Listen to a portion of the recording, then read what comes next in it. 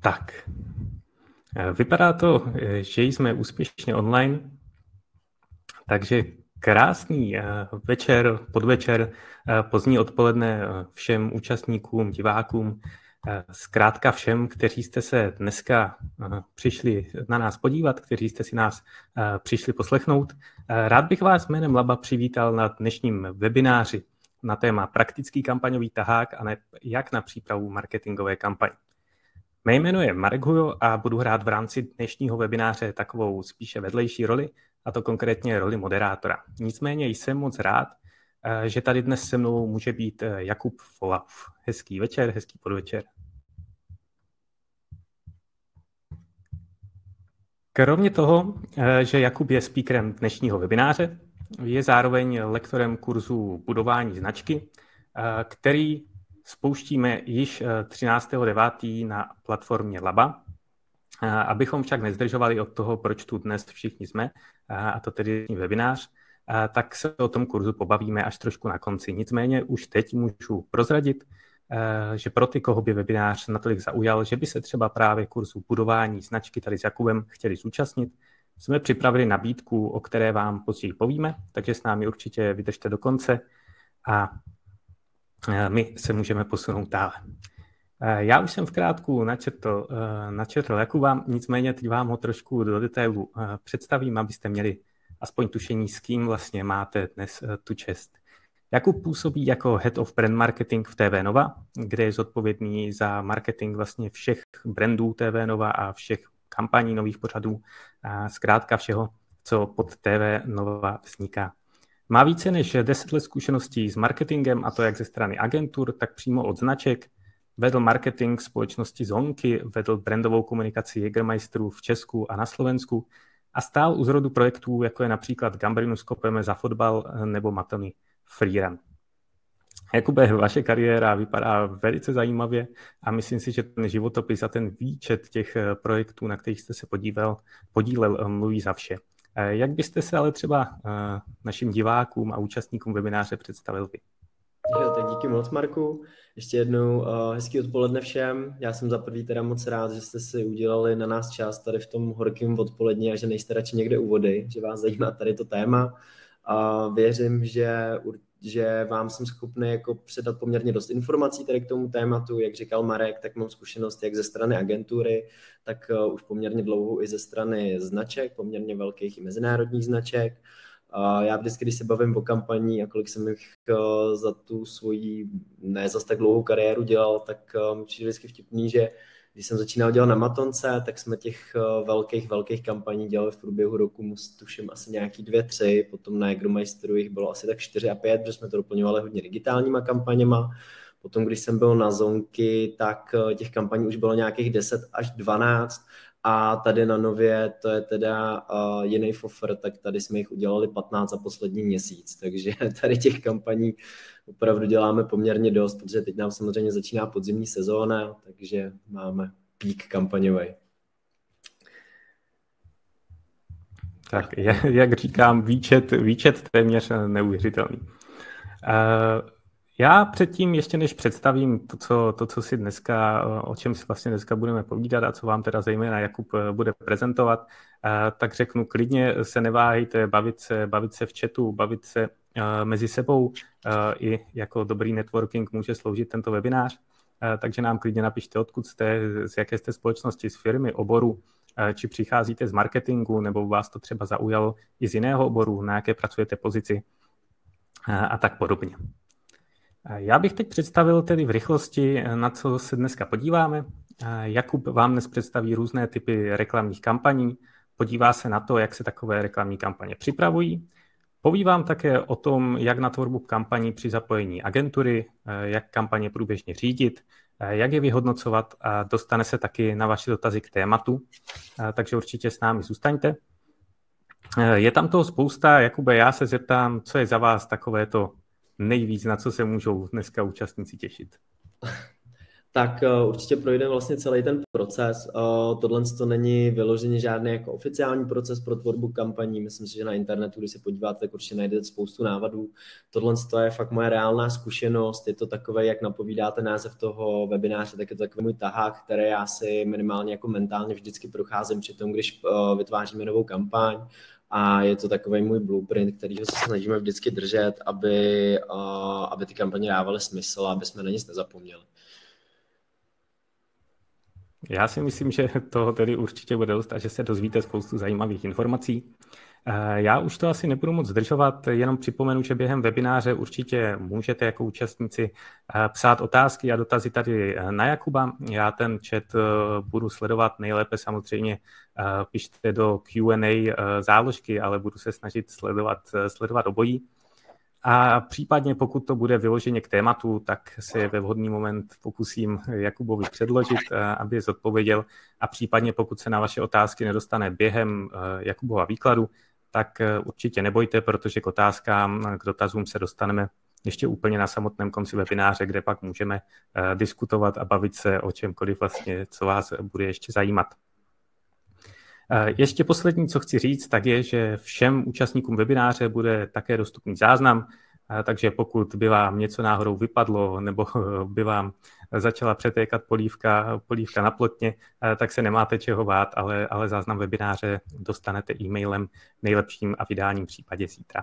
Já už to nebudu zdržovat, předám slovo Jakubovi, protože proto tady dneska všichni jsme a přeji vám zábavu a hlavně spoustu, spoustu nových informací. Tak jo, děkuji. Já ještě navážu na Marka. Budu moc rád, když budete vstupovat už během té přednášky, protože já na svých kurzech, kdybyste pak se jich chtěli zúčastnit, tak jsem daleko radši, když probíhá nějaká debata v rámci toho tématu. Nemám rád svoje dlouhé monology, takže budu rád, když to aspoň trošku rozbijete těma dotazama tady v chatu nebo v Q&As. A můžete tam klidně i psát, když vám bude přetejkat polívka, můžeme chvíli počkat, než eh, celou situaci zachrání, tak říkal Marek. Tak, super tak já eh, teda dám jenom takový kratičký úvod, než se dostaneme vlastně k těm jednotlivým bodům a než, eh, než si projdeme vlastně nějaký ten kampaňový tahák. Co všechno vlastně může být marketingová kampaň, Uh, já to tady posunu hned na další slide. Tohle je nějaký základní rozdělení, jak já přemýšlím nad kampaněma. Uh, na dalším slajdu je tam takový takovej twist malý, ale nejdřív se tady povíme k tomu. Uh, zkuste, když se budete dívat někdy v televizi na reklamy, tak se zkuste trošku zamyslet nad tím, co vlastně tady z těch tří typů by to mohlo být za kampaň. Když se budeme bavit o čistě brandové kampani, tak asi úplně nejjednodušší, nejjednodušší příklad, jak si to představit, tak jsou třeba kampaně Český spořitelné nebo Plzeňského prazdroje. Většinou to bývají takový ty vánoční. Jsou to kampaně, ve kterých se sice vyskytuje ten produkt, protože samozřejmě ta značka ho tam potřebuje ukázat, ale jsou to vyloženě kampaně, které jsou vytvářeny k nějaký určitý události nebo k nějakému určitému tématu a jsou to takový ty, jako říkám, taky ty hezko kampaně, nejsou to vyloženě ty produktový. Potom máme produktové kampaně a tam se nejčastěji můžete představit, když třeba nějaká značka prezentuje nějaký nový produkt, který vytváří, takže to může být třeba nová příchuť nějaký matonky, která bývá třeba přes léto. A potom jsou salesové kampaně a to zase nejjednodušší příklad na představení, tak jsou třeba různé reklamy od Albertu, Teska, který vám říkají, který produkty jsou zrovna teď v akci a který je nejvýhodnější koupit u nich. Tak a jak jsem říkal na tom předchozím slajdu, tak většinou to bývá kousek od každý. Protože ve každé té reklamě musíte ukázat značku nebo produkt a salesová to nemusí být vždycky, ale i ta salesová třeba na Tesco, když si vezmeme ten příklad, tak si vemte, že tam máte tu značku, máte tam ten produkt a máte tam tu vlastně nějakou zvýhodněnou cenovou nabídku. Takže ono se to už poměrně dost míchá, ale pořád se tady objevují i nějaký čistě brandové kampaně a určitě je důležitý takovýhle kampaně mít, netlačit to vyloženě jenom přes ty produktové. Tak a teď už těm kampaním. Tak, příprava kampaně. Tak úplně první věc, co bychom si měli říct na začátku, je, co je vlastně cílem té kampaně. Možná to zní naprosto triviálně a přijde vám to jako samozřejmost, ale divili byste se, když jsem měl jako spoustu konzultací, jak těžký pro některé lidi je vůbec odpovědět tady tu otázku, proč vlastně tady ta kampaň vzniká. Na velkých, ve velkých firmách se často stává, že prostě musí být kampaň, protože mají naplánovanou jednu kampaň na první pololetí roku, druhou na druhou pololetí roku a vlastně to je, to je vlastně jako ten první jako důvod, nad kterým oni přemýšlejí, když je ta kampaň. Tady se nebavíme o žádných KPIs, což jsou jako Key Performance Indicators, nejsou to žádný jako měřitelné cíle, ale bavíme se fakt jako o tom důvodu, proč vy vlastně jako chcete dělat kampaň. Platí to jak pro velké značky, tak pokud máte nějaký svůj malý e-shop nebo nějakou svoji malou firmičku, pro kterou chcete vytvořit kampaň, ať už je to malá kampaň na sociálních sítích nebo někde. Vždycky musíte mít nějaký cíl, s jakým to děláte. Buď chcete prodat víc výrobků, chcete, aby se o vaší značce někdo dozvěděl, nebo nějaký další. Tohle je ten první cíl, se kterým vždycky jdete vytvářet nějakou kampaň a ten byste si měli ideálně napsat na papír, ať to prostě máte někde napsaný. Není to napsaný na papír, abyste na to nezapomněli, ale abyste si to hezky přečetli a pořádně si srovnali v hlavě, co je fakt ten cíl a pak vám to pomůže v tom dalším plánování té kampaně. Takže určitě na začátku určit si cíl, proč vlastně tu kampaň vůbec dělám. Tak, ve chvíli, když vím, co je cílem té kampaně, jestli chci odlamčovat nový produkt, nebo zvýšit to povědomí o té nové značce, nebo zvýšit prodeje, tak je fajn se podívat na nějakou inspiraci. Uh, ve světě je, uh, troufnu si říct, že miliony, desítky milionů, ani nevím kolik značek, který udělali ještě daleko víc kampaní, než je tady to číslo. A určitě budete schopni najít nějakou inspiraci. Nepleťte si to s tím, že vezmete nějakou zahraniční kampaň a jedna ku jedný okopírujete nebo tam jako změníte část té komunikace, ale tady tou inspirací learning si myslím to, že se podíváte na ty kampaně z těch vám příbuzných oborů a podíváte se, co v těch kampaních funguje a co nefunguje protože těch kampaní se už vážně stalo tolik, velké značky investují neskutečné peníze do toho, aby reklamy testovaly, mají spoustu dát, ze kterých historicky vycházejí, takže není potřeba v některých případech vymýšlet kolo. Takže určitě jako podívejte se na zahraniční inspiraci, na lokální inspiraci a vyzobejte si z těch, eh, z těch kampaní to, co vám přijde, že by se hodilo pro tu vaši značku a co za vás funguje. Tak, ale jak říkám, ne kopírovat, inspirovat se. Tak, uh, dalším bodem je hlavní sdělení. Uh, já bych vlastně, když tady koukám na, to, na, na ten svůj nápis, tak bych tam škrtnul to jsou, protože v naprosto ideálním případě byste měli mít jedno sdělení. Vy tomu člověku v rámci té kampaně chcete říct jednu informaci. Ideální samozřejmě mít tam nějaký takzvaný call to action, kde těm lidem vyloženě říkáte, co chcete, aby udělali. To se využívá ještě víc, vlastně, ještě s větším důrazem třeba v digitálních médiích, kde těm lidem říkáte, chci vidět, chci koupit, chci vědět víc, vždycky to bývá na těch výrazných buttonech, to je to call to action. Ale hlavní sdělení té kampaně je, že říkáte, hele, tady je ten náš nový produkt, nebo otevíráme novou pobočku, přijďte se k nám podívat.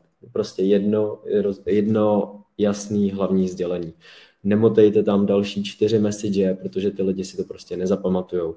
Čím jednodušší, tím lepší. A výborná, a výborná pomůcka na to je, že vždycky, když vytváříte tady ty sdělení pro ty kampaně, tak si představte, že vytváříte billboard Představte si billboard a na billboard prostě nedáte tři věty. Samozřejmě můžete, samozřejmě jsem pár takových billboardů i viděl, ale není to rozhodně ta ideální varianta. Na billboardu by mělo být jasný, krátký sdělení, který má čtyři, pět slov a naprosto jasně vám řekne, co, co chce ta značka, abyste si zapamatovali z, toho, z té komunikace. Tak. Další bod. Co je target audience neboli cílová skupina pro tu danou kampaň? Vy samozřejmě jako nějaká značka nebo produkt, tak máte svoji cílovou skupinu. Jste produkt, který se prodává určitý cílový skupině, nebo jste značka, která je pro určitou cílovou skupinu, můžete být produkt nebo značka, která je jenom pro ženy, která je jenom pro muže, nebo naopak, která je pro mladé lidi, pro staré lidi, záleží na povaze té vaší značky a produktu, ale můžete mít kampaň, která buď vlastně tady z té vaší jako kórový, z té základní cílové skupiny, která je napojená na ten váš produkt nebo na tu vaši značku, tak vy si vybíráte děláte jenom určitý segment z té vaší velké cílové skupiny, protože tohle to může být nějaká aktivační kampaň, kde vy jste vlastně jako pro mass market, to znamená, že vy jste pro všechny, to jsou všechny takové ty velké značky, jsou to většinou výrobky, které vidíte v supermarketech a v hypermarketech, to jsou prostě výrobky, které se snaží být víceméně pro všechny A vy si řeknete, že byste potřebovali, aby se vás kupovalo třeba víc žen. Takže uděláte jednu specifickou kampaň, která bude zaměřená na ženy. Takže to je potřeba si popsat a v návaznosti na to, kdo je ta vaše vybraná cílová skupina, tak proto samozřejmě optimalizujete to plánování té kampaně, vybíráte potom kanály, jak se budeme bavit dál a přizpůsobujete tomu vlastně celou tu kampaň, včetně i třeba potom té kreativy. Protože samozřejmě kampaň, která bude pro mladé ženy, bude vypadat diametrálně odlišně, než když bude pro starší muže. Ať už to bude využitím kanálu, anebo ať už to bude messagí a tou kreativou. Tak, co je taky velmi důležitá věc, je na začátku určit si rozpočet, protože to, jaký si určíte rozpočet, tak vám za prvý pomůže s tím, abyste si vůbec rozmysleli, nebo abyste si vůbec uvědomili, jak může být ta kampaň velká, jaký budete využívat kanály, protože ve chvíli, kdy budete mít menší rozpočet, tak asi nemůžete úplně počítat s televizí, ale můžete se zase víc uh, soustředit na digitální média, na social media a na další média typy, které nejsou tak nákladný. Ve chvíli, kdy budete pracovat s velkým několika milionovým budgetem a potřebujete se dostat uh, k té velké mase těch lidí, tak zase televize je samozřejmě ten uh, dobrý nástroj, který lze zvážit. Já ještě tady jenom zmíním, že moje zkušenost z obou stran, tak pokud kampaň připravujete s agenturou, tak nejhorší, co může podle mě vždycky ten zadavatel dělat, jsou takový ty hry s těma agenturama o těch rozpočtech. Stalo se mi to xkrát, jak na straně agentur, byl jsem toho svědkem i na druhé straně, kde teda jsem z toho taky neměl úplně radost. A to je vlastně situace, kdy vy přijdete za agenturou, teď jim popíšete, krásně jim připravíte jako ten brief toho, jakou byste se přáli kampaň a nedáte jim k tomu rozpočet. Řeknete jim, hele super, my vám nedáme rozpočet a teď jako za náma přijďte s nějakým řešením. Jenomže, jak už jsem jako říkal před chvílí, tak ono to řešení může být jako věc, která stojí 100 tisíc, anebo to může být věc, která stojí 10 milionů. A mezi těmi jako nekonečnou možností, jak lze tu kampaň dimenzovat, jaký kanály využívat a co to vlastně znamená i v rámci té exekutivy, potažmo kreativy. Takže pokud budete někdy uh, vytvářet nějakou kampaň s, uh, s agenturou, tak ji dejte prosím aspoň nějaký jako aspoň nějaký přibližný budget, který jste schopný na tu kampaň alokovat, protože jinak si prostě budete na čtyřikrát vracet jejich návrhy, kdy vy jim budete říkat, to je hodně, to je hodně, to bychom zase možná ale chtěli, aby to bylo trošku víc. A ono to ušetří čas, jak agentuře, tak hlavně vám ten váš čas při plánování těch kampaní a vůbec jako při té práci na tom, tak taky něco stojí. Takže nedělejte to ani sobě, ani té agentuře, ale rovnou dávejte aspoň nějaký přibližný rozpočet, se kterým by ta agentura měla pracovat.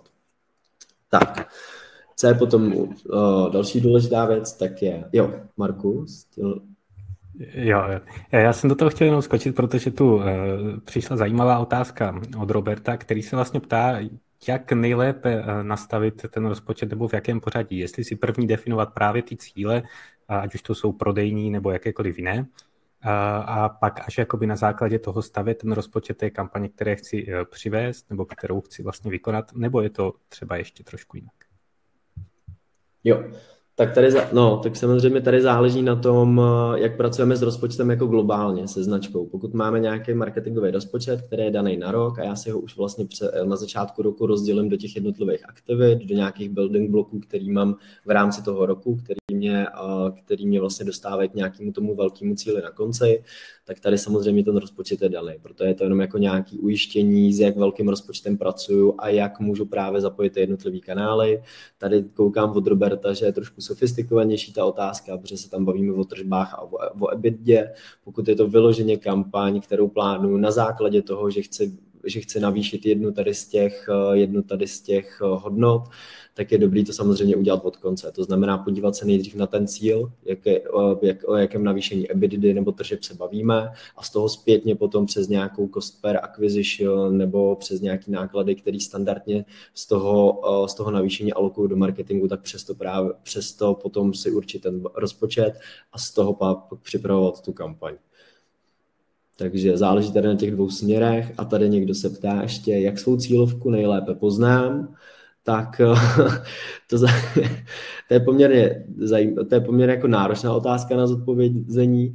Tak, buď mám značku, která je vyloženě vytvořená pro nějakou cílovou skupinu. Já jsem ji s, s tím cílem vytvářel, je to nějaký produkt, který zase může to být produkt, který je určený pro ženy, který je určený pro muže, který je určený pro někoho mladšího, může to být teritoriálně zaměřený produkt, to znamená v nějaké určité oblasti, v nějakém městě, nebo podle zájmu, může to být třeba pro sportovce nějaký produkt. Takže tohle by mělo být už jako ta základní jako predispozice toho, co je ta moje cílovka, ať už podle té značky nebo podle toho produktu. A potom samozřejmě, když se bavíme o té cílovce té kampaně, tak je to, jak jsem říkal, buď, eh, buď je to kampaň, která vlastně cílí na všechny ty moje potenciální uživatele toho produktu nebo té nebo tý nebo tý služby značky, a nebo je to naopak kampaň, která se snaží rozšířit ten můj aktuální zásah. To znamená potřebu, aby, nekom, aby ten produkt si kupovalo víc žen, tak udělám kampaň na ženy nebo mladší cílovka, takže zase udělám kampaň na mladší cílovku. Tak. Jo, a ještě tak, teď jsme zůstali u timingu. Tak a co se týče timingu, tak opět zase je určitě dobrý si nadefinovat, jak bude dlouhá ta kampaň. Samozřejmě někdy se může kampaň protáhnout, někdy naopak může být kratší, podle toho, jak se vyspenduje třeba budget, když se bavíme o onlineových kampaních, protože tam je to poměrně variabilní, ale vždycky je dobrý si určit, že ta kampaň má být třeba jako měsíc. Ve chvíli, kdy si neurčím jako začátek a konec té kampaně, tak je poměrně těžký za prvý budgetovat a za druhý plánovat i veškerou tu komunikaci v rámci těch kanálů. Tak. Uh, dalším bodem je výběr zapojených kanálů, protože samozřejmě máme nějaký vlastní kanály, což jsou standardně, je to třeba webová stránka, kterou máme, protože i tam můžeme komunikovat, jsou to sociální sítě, pokud máme nějakou databázi našich uživatel nebo našich zákazníků, může to být e-mailová komunikace, nebo to může být klidně i nějaká outdoorová plocha, kterou můžeme mít standardně k dispozici. Může to být třeba, pokud máte nějakou malou firmu, tak můžete mít třeba možnost dát něco na fasádu, když je to vyloženě malá firmička.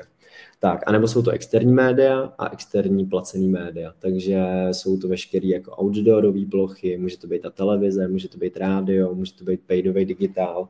A tohle to všechno by samozřejmě mělo být uh, součástí toho budgetingu a počítat v něm. Tak. A potom je tady nastavení KPIs. Jak jsme si říkali v tom prvním bodě, že vlastně musíme mít nějaký cíl, si kterým tu kampaň připravujeme, proč ji vlastně celou děláme, tak KPIs už jsou, ta zkrátka jsou Key Performance Indicators, tak tohle už jsou nějaký měřitelný cíle. Určitě je tady zásadní to, že musí být měřitelný, Určitě nedělejte kampaň s tím, že cílem je, aby byla hezká ta kampaň nebo aby se povedla, protože to je pak poměrně těžký kvantifikovat, ale i tady ty věci se dají kvantifikovat. Můžete si udělat nějaký post-test té kampaně, když ji spustíte, tak pak můžete udělat nějaký testování, jak moc se vlastně těm lidem teda vážně líbila, co se jim na ní líbilo, co se jim na ní nelíbilo.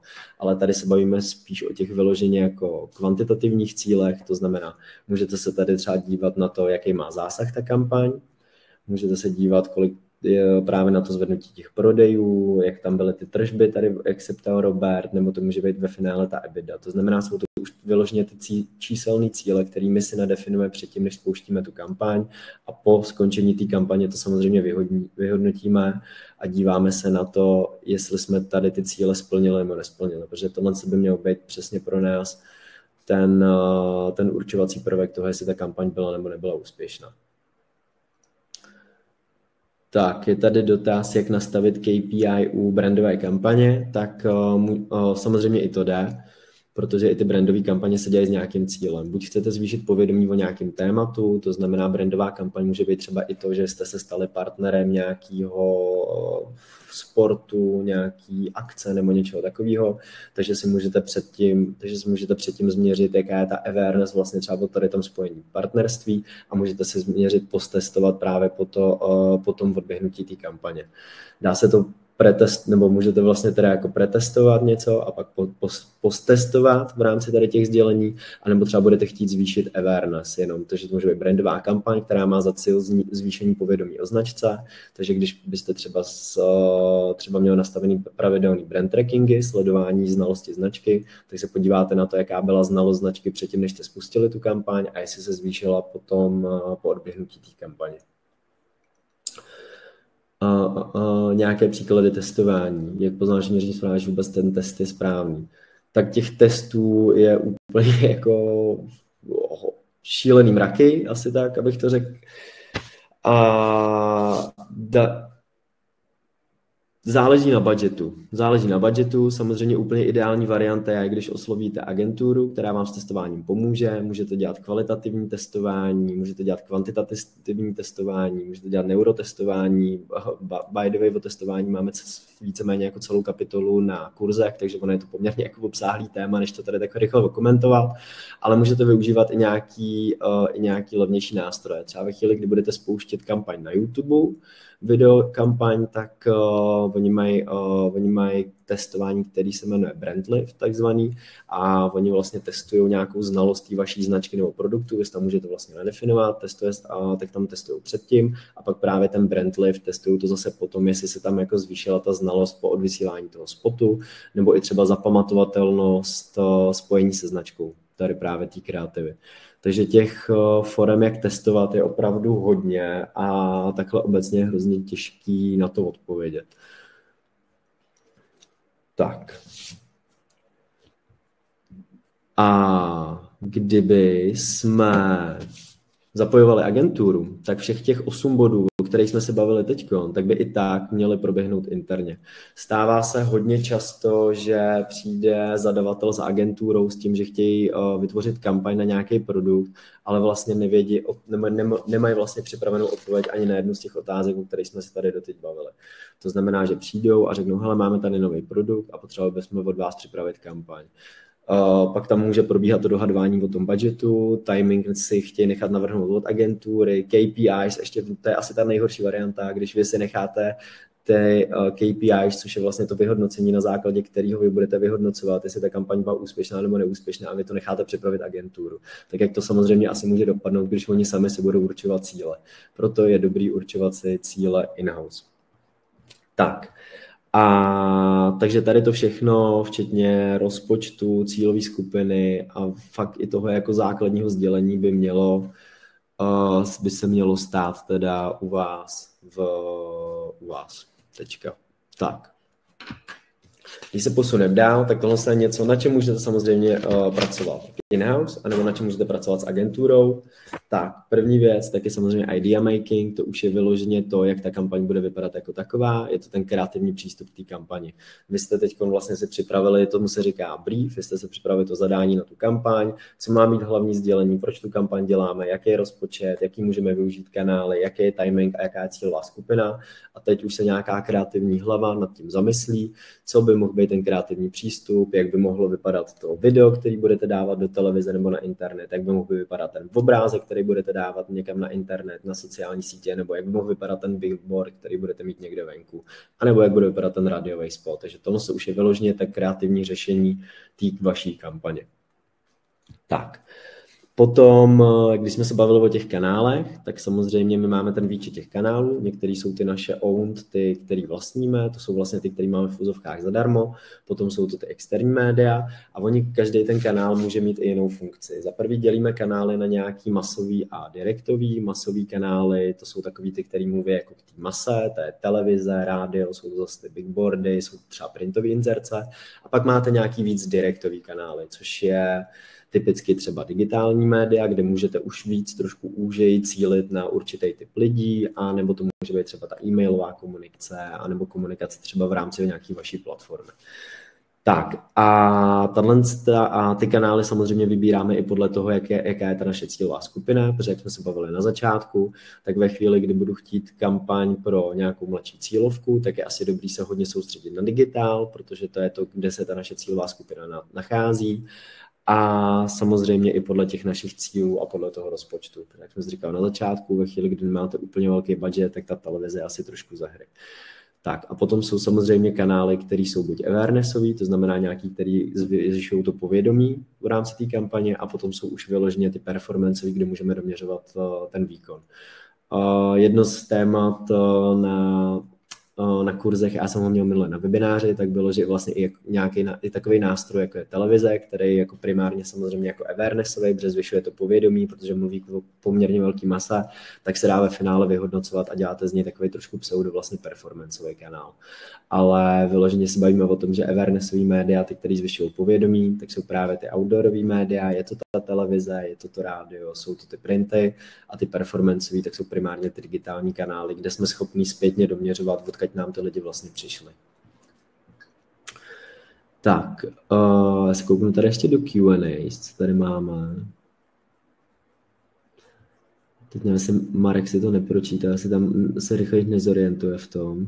Jo, jo, jo, koukal jsem se, koukal, ale jsou tu takové eh, dvě otázky, které jsou spíš tak úplně už jako přímé osobní, takže ty bych pak nechal, nechal ke konci webináře, pokud to nebude vadit, ať teďka, teďka budeme vlastně, můžeme pokračovat, protože ty se týkají už konkrétních příkladů a případů, takže si myslím, že na to bude nějaký osobní váš názor, takže to můžeme pak nechat ke konci k té diskuzi. Dobře, dobře. Tak, No a potom vlastně, když už máme to, jak, eh, když máme to krásné zadání na kampaň, máme tu kreativní přístup a máme tu kanálovou strategii, která byla na tom předchozím slajdu, to znamená, který kanály, jak využíváme pro jakou funkci, tak kampaň spouštíme a na přichází fáze realizace. To znamená, spustili jsme kampaň a koukáme na čísla. A co je určitě důležitý, nesedět na rukách, jak se říká, a čekat, až ta kampaň skončí protože i když ta kampaň má jenom týden, i když má měsíc, anebo když má tři měsíce, tak prostě je dobrý na tu kampaň koukat průběžně a vyhodnocovat a hlavně ji optimalizovat. Protože my nám v, jenom pro info třeba, tak nám aktuálně běží nějakých 25 a 20 kampaní v tuhle chvíli a třeba v digitálu je optimalizujeme na denní bázi, protože ve chvíli vemte si, že spustíte kampaň, která vám poběží dva měsíce, vy ji spustíte, teď se na ní vlastně nebudete dívat, co to dělá v rámci těch jednotlivých kanálů a za dva měsíce byste se přišli podívat, co to teda vlastně jako udělalo. Aby by se třeba už za dva, za tři dny zjistili, že nějaká kreativa nebyla třeba úplně dobře zvolená, že nějaký kanál vám trošku performuje hůř než jiný a že naopak by bylo třeba dobrý ten budget přesunout do nějakého jiného kanálu. Protože samozřejmě i když sebelí budeme plánovat na začátku, tak je potřeba potom koukat na ty reální výsledky a návaznosti na to optimalizovat. Takže nesedět na rukách, koukat prostě na ty kampaně a neustále je optimalizovat, ať dosáhneme co nejlepších výsledků. Tak, a potom tady máme vyhodnocení té kampaně, která nám probíhala, takže tady se právě koukneme na ty KPIs, který jsme si, který jsme si určili na začátku a tady díky tomu, že máme měřitelné cíle, tak jsme schopni si říct, jestli jsme ty cíle splnili, případně na kolik procent. Může se nám stát, že nějaký cíle přeplníme, že nějaký naopak nesplníme, takže prvním, nebo nemusí to úplně nutně znamenat to, že ve chvíli, kdy jsme přeplnili ten cíl, takže ta kampaň byla super úspěšná, ale může to třeba znamenat to, že jsme si poměrně nízký cíl a naopak zase ve chvíli, kdy jsme nesplnili ten cíl, tak naopak ten cíl mohl být poměrně jako ambiciozní. Takže ono i jako to nastavování cílu je samozřejmě jako nějaký proces, který se budete učit nebo který se učíte a který samozřejmě budete jako s postupem času a s, postup, a s tím, kolik uděláte kampaní, tak budete vylepšovat, protože ono nastavovat ty cíle je poměrně velká věda taky. Tak a Nakonec jsou to ty learnings, protože když eh, nám skončí kampaň, tak stejně tak, jako jsme měli nějaký learnings na začátku, nebo jsme koukali pro tu inspiraci, tak je dobrý vždycky po kampani, i když ji bereme za úspěšnou, tak vždycky jsou z toho nějaký learnings. Něco se nám povedlo, něco se nám nepovedlo. Může to být v rámci té kampaně, může to být nějaký kanál, který jsme využili, kanál, který jsme využili nějak špatně, špatná alokace budgetu, mohli jsme třeba dát malý budget, nebo naopak zbytečně velký, špatně jsme mohli zacílit, anebo to mohla být i nějaká chyba v tom procesu, protože ten proces je tady popsaný jako velmi zjednodušeně v nějakých jako bodových oblastech ale ten proces samozřejmě znamená to, že to řešíte jako se spoustou lidí, dodáváte někam kreativu, spouštějí se ty kampaně, nastavují se tam rozpočty, takže tohle to všechno můžou být learnings do příště, může to být lepší komunikace, lepší vedení té kampaně, anebo lepší alokace toho budgetu, jak jsem říkal. Tohle to všechno jsou learnings, které z té kampaně můžou přijít, včetně samozřejmě, který bývá asi nejčastější, tak to je k tomu kreativnímu zpracování. Mohla tam být lepší message, mohli jsme tam použít jiné barvy, mohli jsme tam vybrat jinou paní, která nám tam ukazuje nějaký produkt na tom obrázku.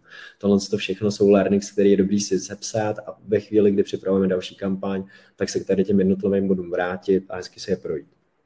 Tak, já mám rád takový, uh, já jsem teď nedávno slyšel takový uh, hezký, takovou hezkou větu, uh, byl to jeden sportovec a on říkal you either win or you learn, že buď vyhrajete, anebo se něco naučíte. Já si myslím, že i v té výhře, když je ta kampaň jako velmi úspěšná, tak se taky je pořád co učit, protože nikdy to není úplně stoprocentní, ale přišlo mi to poměrně trefný na vyhodnocování kampaní, takže i s sportem je to tak hezky zpětý.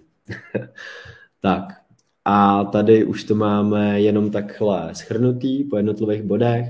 Tak, jak jsem říkal, eh, po ten osmý bod jsou to vlastně jako všechno v oblasti, které byste měli obsáhnout vy, vy interně i ve chvíli, kdy zapojete tu agenturu. Jsou to prostě věci, které si fakt jako musíte rozmyslet vy. Samozřejmě vám s tím někdo může pomoct, ale jsou to věci, které by měly být primárně od vás. Je to ten cíl té kampaně, jak jsem říkal na začátku, fakt si rozmyslet, proč tu kampaň vlastně dělám. Ve finále potřebuji vlastně dělat nějakou kampaň nebo nepotřebuji. Samozřejmě je dobrý je dělat, ale je dobrý si fakt jako říct, co je ten cíl, za kterým jdeme. Potom jsou to inspirace learnings, ať už z našich předchozích kampaní, nebo ze světa, nebo z nějakých jako lokálních značek, prostě značek nebo z produktů, které jsou na tom velmi podobně jako my. Hlavní sdělení, nadefinovat si jednu hlavní message, kterou prostě chceme říct těm lidem. Co je to sdělení, kterou, který se snažím tady tou kampaní předat. Cílová skupina zase.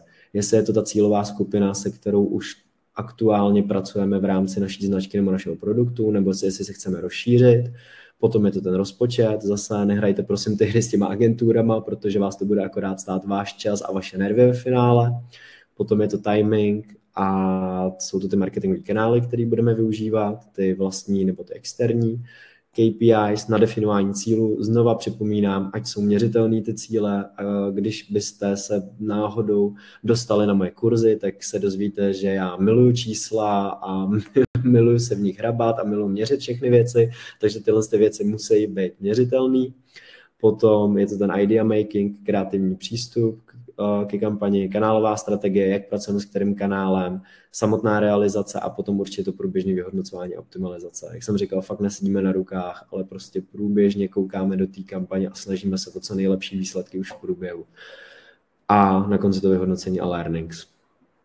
Takže takhle v rychlosti, ve zkratce, za mě. A budu se těšit případně na kurzu, kde si o tom popovídáme trošku víc ještě do detailu. Super, Jakube, já moc, já moc děkuju a ještě než ještě děkuju za všechno vlastně a za to, že uh, i tady tenhle tahák snad účastníci webináře můžou třeba využít ve své praxi uh, aspoň jako nějaký checklist toho, uh, jak se v průběhu té kampaně třeba pohybovat, uh, co je kdy potřeba a ať na nic třeba nezapomenou a že to třeba přenesou uh, do své praxe. Než se ještě dostaneme k těm otázkám a k těm zajímavých dotazů, kterých, kterých je tu určitě a ještě určitě bude spousta, tak je mým úkolem právě představit eh, váš kurz eh, pod názvem Budování značky, který teda vede Jakub. Úspěšná značka se pozná podle toho, že má se svými zákazníky pevný vztah. Jak u zákazníků zbudit zájem, vytvořit značku, která s nimi rezonuje a vybudovat jejich lojalitu a nejen to, všechno si vlastně z kurzu odnesete. Během toho kurzu také zjistíte například, jak připravit efektivní kampaně v souladu s dlouhodobou strategií vaší značky, jak sledovat a vyhodnocovat uživatelská data, jak vytvořit a efektivně využívat například něco, eh, co nazýváme brandbookem. Kurs bude probíhat od 13. září bude obsahovat 12 lekcí v, rozmezí 6, v rozmezí 6 týdnů, a z nich každá ta lekce trvá hodinu a půl, je to vždy v pondělí a středy od 18 do 19.30 a, a bude to pod vedením právě Jakuba. A ať už jste například specialisté na marketing a komunikaci, e, podnikatele nebo i třeba nováčci v oblasti brandbuildingu a budování značky, tak pochopíte, jak chování zákazníků ovlivňuje strategii značky, komunikaci i mediální plán, Dozvíte se, jak zákazníkům vlastně zprostředkovat hodnotu a jedinečnost toho svého produktu a jak vytvořit strategii značky pro zvýšení prodeje a povědomí o ní a získáte například jako nováček v oboru praktické znalosti v oblasti tvorby strategie značky a třeba žádané dovednosti pro svůj životopis, včetně, včetně certifikátu. Samozřejmě, Jakube, vy tím, že, že to vyučujete už po třetí u nás, pokud se nepletu, tak třeba zhrníte za vás, co je to nejzajímavější, co vy nejradši studentům předáváte. Jo, já to překliknu na ten další slide. Dneska to byl takový jako vlastně střípek z celého toho kurzu, protože je to taky jedno z, těch témat, který tam probíráme.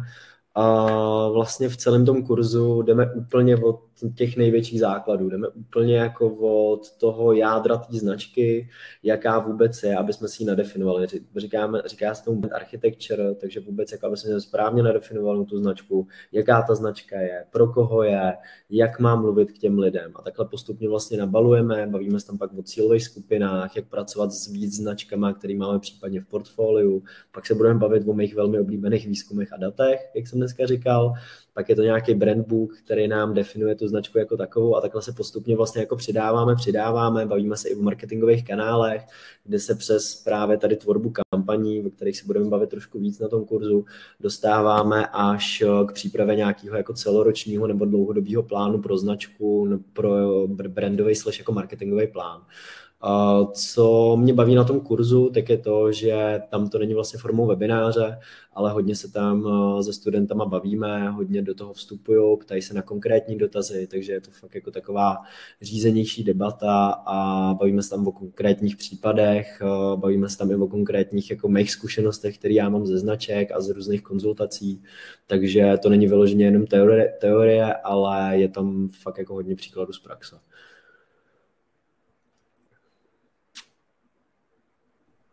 Tak jo, super. A to, co jsme si právě připravili pro vás, pro účastníky dnešního webináře, eh, tak máme pro vás eh, nabídku eh, vlastně díky tomu, že jste přišli na webinář a že jste projevili zájem o to se vzdělávat a vzdělávat se nad rámec třeba toho, co dělají ostatní, tak jsme si pro vás připravili vlastně nabídku v podobě 20% slevy kterou byste již teďka měli vidět, měla by na vás vyskočit. A já jenom vlastně v krátkosti vysvětlím, jak to funguje, protože občas nám někdo říká, že to působí podezřele, jelikož když si rozkliknete stránku, zadáte své údaje a vlastně až následně se vám někdo od nás ozve. Já hned vysvětlím, proč to tak je a třeba pochopíte, proč to děláme protože ten text a tu představu toho kurzu na té stránce může každý vnímat subjektivně a proto je důležité vlastně, aby naši kolegové, kteří se s vámi pak budou bavit, zjistili potřeby každého z vás, každého zájemce o ten kurz, porovnali tyto potřeby s náplní toho kurzu a společně jste tak během hovoru vůbec zjistili a přišli na to, zda je tento kurz pro vás jako pro zájemce vhodný. Někteří z vás totiž mohou být eh, overqualified, jiní zase můžou být méně kvalifikovaní, než je potřeba. A, a v našem zájmu je vlastně prodávat ty kurzy pouze těm zájemcům, které tento kurz může kariérně posunout, přinese jim ty nejvhodnější eh, nové znalosti a dovednosti právě pro ně. A to je ten důvod té telefonické konzultace, toho telefonického mezikroku, eh, protože my nechceme prodávat kurzy někomu, komu se doopravdy nehodí a komu nic nepřinesou, a snažíme se předcházet tomu, eh, kdyby mělo docházet k nějaké nespokojenosti studentů, eh, protože ten kurz třeba nesplňuje to, co, to, co by oni chtěli, aby ten kurz splňoval. Eh, pro nás je důležitá spokojenost na všech stranách, a to jak na straně lektora, tak na straně studentů, abyste si ten kurz a těch 6 týdnů společně těch 12 lekcí užili a naučili se toho společně co nejvíc nového. Máme tady nějakou zpětnou vazbu z těch eh, předchozích streamů. Studenti eh, jsou z Jakuba nadšení, jsou nadšení z toho, jak, jak vlastně prezentuje, co předává, protože, eh, jak už bylo zmíněno na začátku, Jakub má opravdu obrovskou spoustu zkušeností které rád předává a rád předává s úsměvem a rád se s vámi bude bavit, rád si s vámi bude povídat. Eh, tudíž pokud eh, vás to zaujalo, tak určitě neváhejte a dostaňte se třeba jenom do toho mezikroku eh, si s námi telefonicky vlastně zavolat a zjistit, jestli ten kurz je to opravdu pro vás. Já v rychlosti představím naši společnost vlastně Laba, která byla založena v roce 2005, 15, pardon. Už máme za sebou více než 470 online kurzů, více než vlastně 14 těch opakovaně spuštěných kurzů, eh, přes 18 tisíc odučených hodin a více než 100 tisíc vlastně absolventů napříč eh, devíti trhy, kde jsme aktuálně, aktuálně zastoupeni. V rámci Laba poskytujeme kurzy, co se týče, co se týče nějakého vzdělávání od HR přes marketing, různá softwarové školení, manažerské školení, finance a tak dále. Takže pokud třeba se chcete vzdělávat v jiném oboru, určitě neváhejte a navštivte nás. Tak, důležité, co je říct, je, že, jak už jsme říkali, kurz je živý a online s Jakubem, takže dostáváte v rámci i domácích úkolů individuální zpětnou vazbu, můžete komunikovat v rámci našich jakoby skupin, kde, kde probíhá jak networking, tak třeba i případné dotazy na Jakuba. Dozvíte se spoustu zajímavých praktických informací a procvičíte si to všech na těch praktických úkolech, kde vám dá Jakub zpětnou vazbu. Tak, pokud byste měli zájem, tak můžete sledovat na sociálních sítích jak nás, tak také Jakuba. Pokud, pokud byste chtěli se dozvědět o něm třeba ještě něco víc nebo sledovat jeho aktivity na LinkedInu. A já myslím, že už se můžeme přesunout k těm, k těm dotazům a k těm otázkám, na které tu ještě někteří z vás vydrželi, protože těší, se těší, až budou zodpovězeny ty jejich dotazy. Tak já to budu zkoušet nějak prezentovat a uvidíme, kam až se dostaneme. Je, tu ještě taková jedna hezká obecná, která by se mohla hodit eh, vlastně všem. Eh, a to je otázka od Niky, kdy brandová kampaň, kdy se ta zdá, aha ne, tak od Pavlíny, pardon, zdá se dá tento postup aplikovat vlastně i na B2B kampaně, eh, či by tam byl, či by tam byl nějaký jiný krok v rámci toho, v rámci toho kampaňového taháku. Já přemýšlím a myslím si, že vlastně ne, protože tam se bavíme jenom o tom, že je to vlastně trošku jiný přístup, že vlastně ta cílová skupina je trošku jiná, že to není jako standardní zákazník, ale že jsou to firmy a od toho se pak musí odvíjet ta strategie, ať už ty vybraní kanály, nebo samozřejmě jako ta kreativa, to sdělení, ale myslím si, jako, že ten základní princip je vlastně pořád stejný. Mm-hmm. A pak je tu další otázka od Ani. Jaký je váš názor na využívání AI a chat GPT v procesu tvorby marketingové kampaně? Myslím si, že eh, poslední dobou velmi omílané téma pořád dokola, tak je, je jaký je váš názor na tu problematiku? Že marketéři nebudou mít co žrát za chvíli. ne, já samozřejmě jsem toho příznivce, protože ono to Nemůže to nahradit, samozřejmě si troufnu říct v podstatě žádného člověka v tom procesu, ale může to dost pomoct. Ve chvíli, kdy se píšou nějaký delší texty, kdy se připravuje jako spousta různých formátů, tak eh, jak samozřejmě nějaký jako AI na přípravu grafiky nebo na přípravu textů je schopný pomoct tou, s, tou, uh, s tím generováním, ale pak je vždycky potřeba, aby se na to někdo podíval. Já nevím, jak moc jste si hráli s GPT, ale ve chvíli, kdy tam začínáte zadávat ty dotazy a ono to posílá ty odpovědi, tak to nejsou úplně jako věci, které bych jako s čistým svědomím byl schopný dát někam jako do reklamního sdělení. Takže ono je dobrý, když se na to ještě někdo double checkne. My jsme to využívali v rámci třeba nějakých brainstormingů, nebo když jsme měli nějaký workshopy, kdy jsme přemýšleli nad nějakýma jako případnýma názvama nebo nad nějakýma právě jako sděleníma a spíš jako nad generováním variant, který potom můžou jako inspirovat ty lidi. Ale rozhodně si nemyslím, minimálně v té češtině, ve které jako, i když samozřejmě funguje jako dobře ten nástroj, tak pořád je tam ještě nějaká trošku limitace, tak si nemyslím, že ten nástroj je teď schopný jako plnohodnotně nahradit, ať už jako grafika, vys to, jaký dělají prsty těm lidem ty, eh, ty nástroje, tak, eh, tak i víc, co se týče těch textů. Ale určitě je to jako super pomocník a je to dobrá inspirace. Taky jsem toho názoru, že je to zatím jenom pomocník, uvidíme, kam, kam jak dál se to bude vyvíjet. A, tak, já mám otázku a teďka to proložím otázkou, takovou možná trošku bulvárnějšího typu. A mě by zajímalo v rámci například Vojo, jestli máte nějaký za, uh, svůj nejoblíbenější seriál, jestli jste například zarytým fanouškem ordinace v Růžové zahradě. Nebo něco podobného. Ordinaci úplně ne, ale uh, z té naší originální tvorby, co máme na Vojo, tak musím říct, že uh, něco, co se fakt povedlo, tak je Sex O'Clock a Matematika zločinu, která je teď nově celá série uh, od minulého pátku na Vojo. To je něco, co si myslím, že se fakt hodně povedlo. A co se týče té tý televizní tvorby, tak já jsem teda velký fanoušek Masterchefa, který je ode dneška na Vojo, takže já se těším, že až skončíme kurz, tak si půjdu podívat na Masterchefa na první díl nový série třeba někdo taky koukal předtím, než se koukal na náš webinář a předtím nešel vařit tu polívku zmíněnou vodu. Uh, tak, uh, pak už tu máme takové konkrétnější dotazy s nějakým uh, osobnějším zaměřením, tak je tu dotaz. Ahoj, mám dotaz ke stylu komunikace na zákazníky. Mám lokální značku, na které pracuji zatím já a pár freelancers. Jak komunikovat? Naše značka, nebo my nabízíme, nebo moje značka, mám pro vás. Jde mi o to, zda množné číslo ve vnímání zákazníků funguje víc nebo lépe. Tohle je právě jedna z těch věcí, která je hrozně těžká v odpovědi takhle od stolu a tím se zabýváme třeba v té uh, uh, kapitole té brand architecture, protože tohle to není vyloženě jenom o tom, jestli říkám tady to, ale vlastně jak celá ta značka jako taková komunikuje.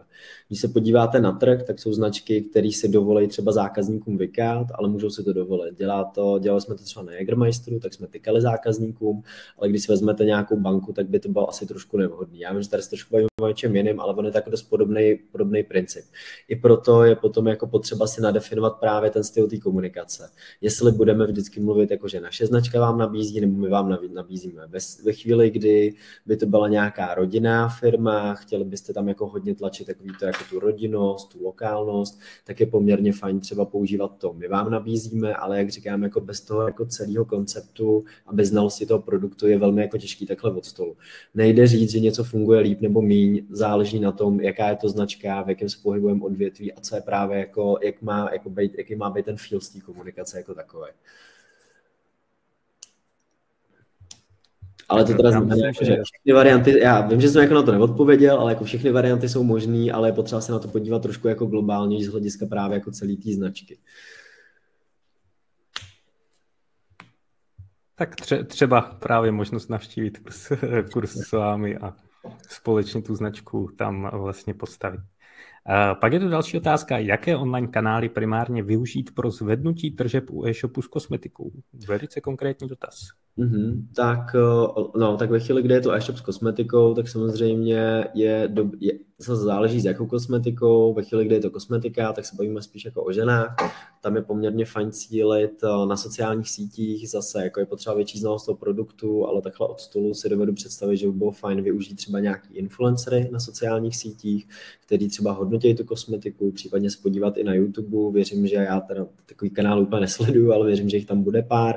A nebo potom to může být displejová uh, reklama. Pod samozřejmě třeba searchový vyhledávání, pokud máte nějaký produkty, který se hodně vyhledávají, jestli to jsou třeba nějaké řasenky, nějaký konkrétní krémy, tak se podívat na to, jak jsou zabidovaný.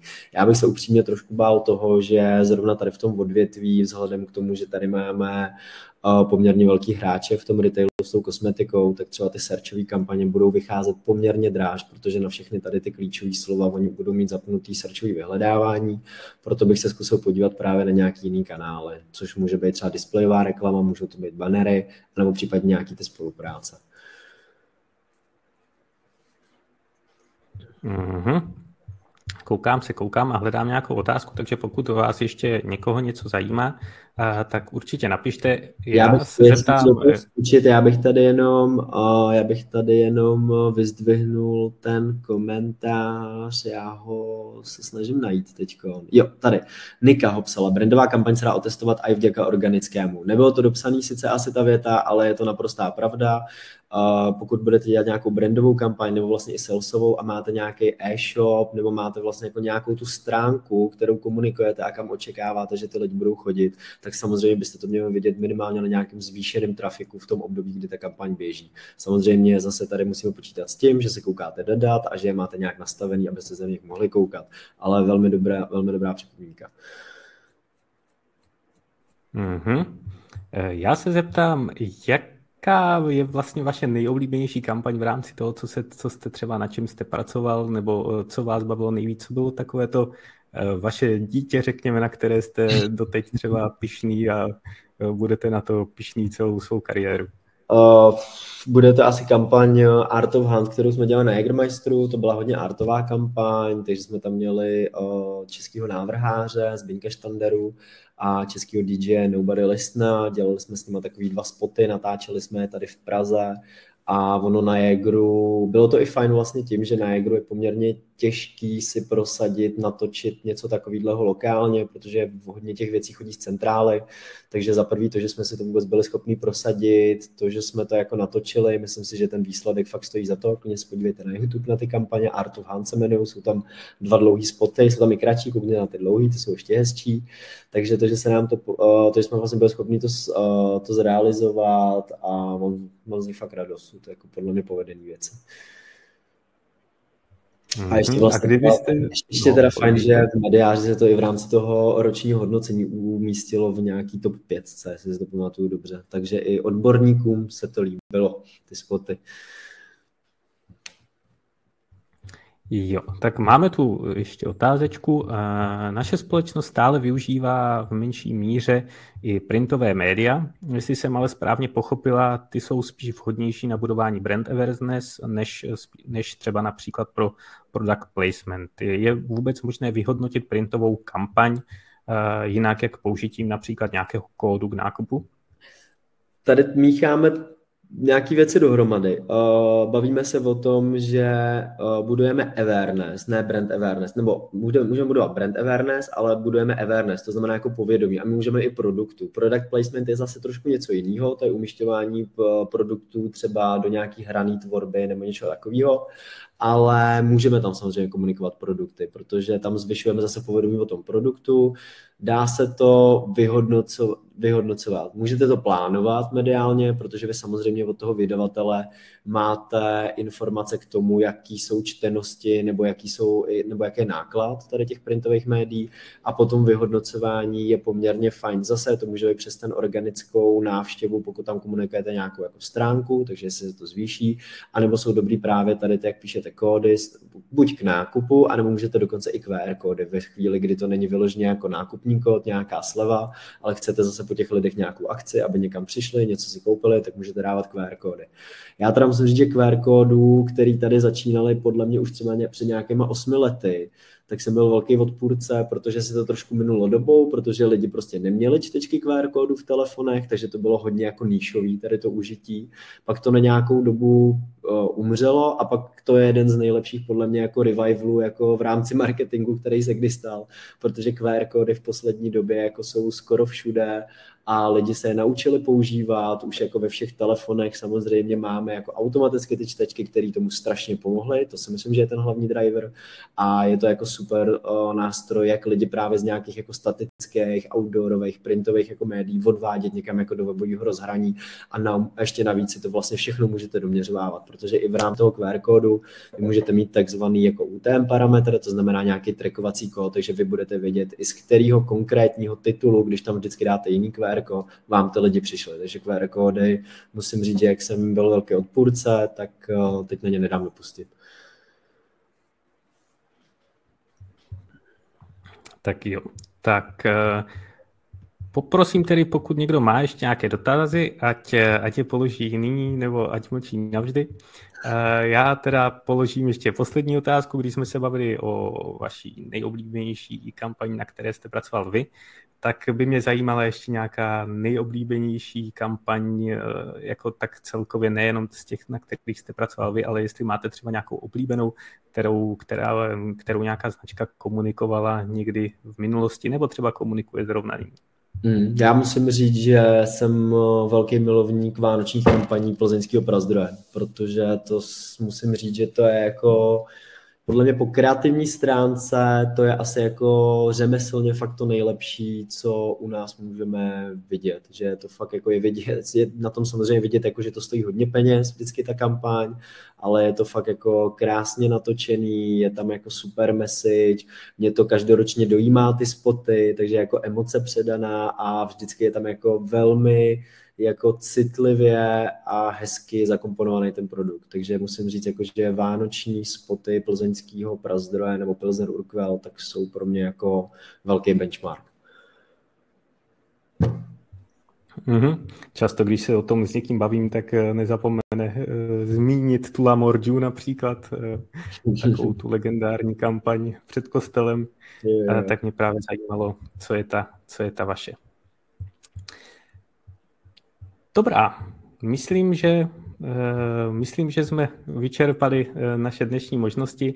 Já ještě jednou zopakuju, pokud byste vlastně měli zájem o kurz, tak určitě zkuste, my vám zavoláme, pobavíme se s vámi o tom, jestli to dává smysl, ale podle mě to smysl určitě dává, protože jak jste dneska slyšeli, Jakub má co předat a předává to velice uchulibým způsobem, takže, takže si myslím, že nebudete litovat.